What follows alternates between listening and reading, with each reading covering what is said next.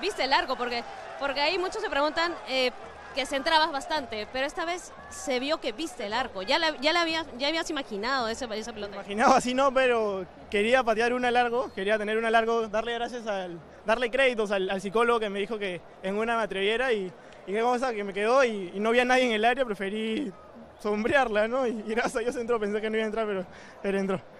Hace unas semanas hablaste de la importancia de tu regreso a ser titular y de la confianza que te está dando Thiago Núñez. ¿Qué decir justo ahora, en este momento, con la victoria? Nada, yo creo que, o sea, estoy feliz, feliz por el, por el resultado, por la clasificación, pero no es nada, ¿no? Porque aún nos falta un rival más con cual competir para poder estar en lo que queremos, que es la fase de grupo.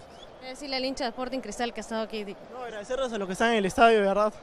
Agradecer por su hinchada, por, por el apoyo que, que dieron en el partido, que también son parte, parte importante para nosotros. Sí, también lo esperamos el día sábado en el Gallardo.